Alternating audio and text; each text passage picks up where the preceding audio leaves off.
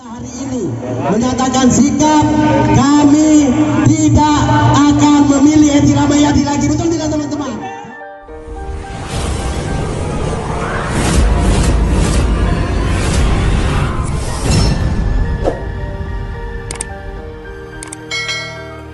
Gelar aksi tolak Omnibus Law, Partai Buruh Sumatera Utara kecewa dan tidak akan pilih lagi Edi Rahmayadi menjadi Gupsu.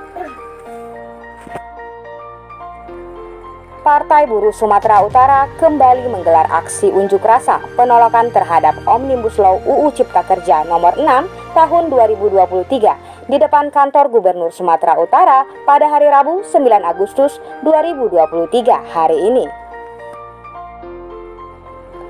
Pada orasinya, Willy Agus Sutomo SH yang merupakan Ketua Eksekutif Partai Buruh Sumatera Utara mengatakan tidak akan memilih Edi Rahmayadi menjadi Gubernur Sumatera Utara lagi pada pemilu yang akan digelar tahun depan. Selain mengkritik Edi Rahmayadi, Willy juga menyampaikan tuntutan aksi buruh pada tanggal 9 Agustus 2023, yakni tolak Omnibus Law Undang-Undang Cipta Kerja nomor 6 tahun 2023, tolak Undang-Undang Kesehatan tahun 2023, naikkan UMP UMK sebesar 19%, hapuskan presidensial threshold, wujudkan jaminan sosial seumur hidup, selesaikan konflik tanah, serta tuntutan penyelesaian kasus-kasus perburuhan di Sumatera Utara. yang tidak pernah hadir di setiap aksi-aksi rakyat Sumatera Utara. Kami sangat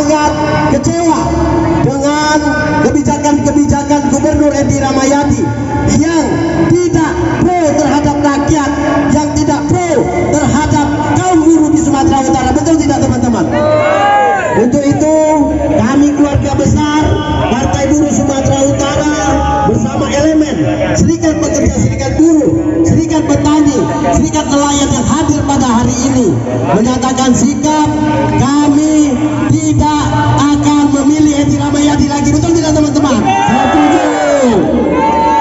Kita kecewa dengan beberapa alasan di antaranya upah murah. Betul tidak kawan-kawan? Kasus-kasus perburuan tidak terselesaikan. Betul tidak teman-teman? Untuk itu kami pastikan tidak memilih Edi Ramayadi. Semangat teman-teman. Kemudian kami di sini mengusung beberapa poin tuntutan baik secara nasional dan tuntutan lokal yang nantinya kami berharap agar kami diterima oleh perwakilan dari Gubernur Sumatera Utara. Adapun tuntutan kaum buruh, partai buruh dan elemen serikat pekerja serikat buruh di Sumatera Utara adalah satu agar pemerintah Joko Widodo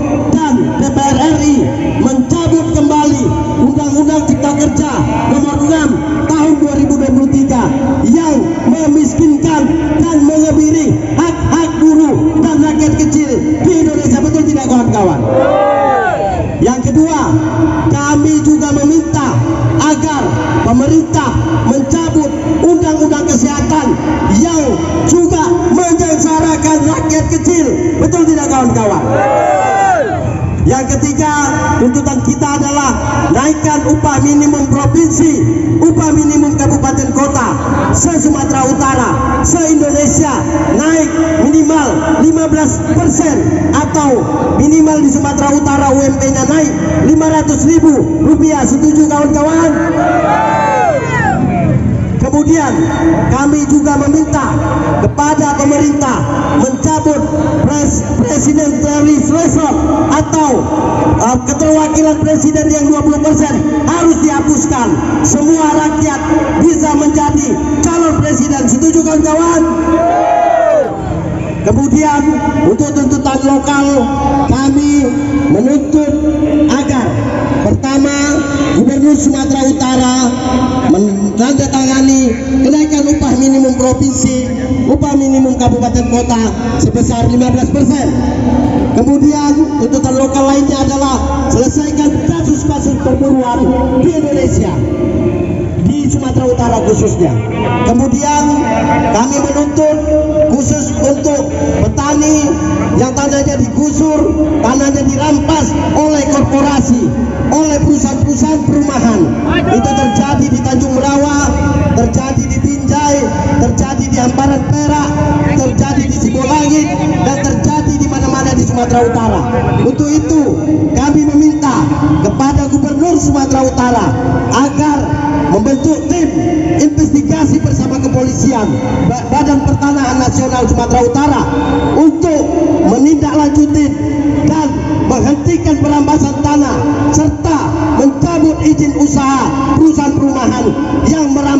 tanah rakyat betul tidak teman-teman? Kemudian khusus ada kasus kita juga yang sudah kita laporkan ke Polresta Binjai yaitu kasus kalian C yang hingga saat ini tanah-tanah rakyat itu digali dan mengakibatkan limbahnya itu sawah-sawah petani terganggu kalian ilegal itu pelakunya hingga hari ini tidak tersentuh hukum untuk itu kami meminta Diketahui sebelumnya, aksi unjuk rasa Partai Buruh Sumatera Utara ini merupakan rangkaian aksi yang digelar serentak secara nasional oleh Partai Buruh dengan isu tuntutan yang sama.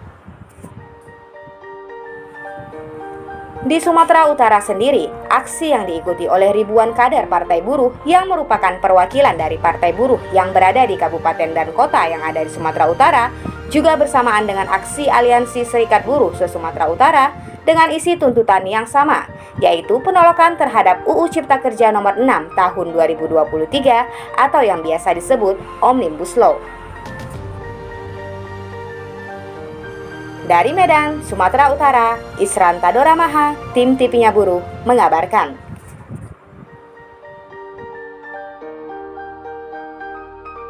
Demikian kabar buruh hari ini. Mohon like, subscribe, komen, dan share-nya ya teman-teman agar suara buruh didengar seluruh negeri ini. TV-nya buruh, TV-nya kaum buruh.